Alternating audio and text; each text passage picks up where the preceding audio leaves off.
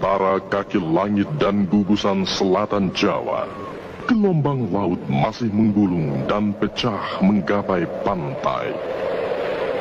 Geletar suaranya, berbaur desawan angin, mengalunkan simfoni.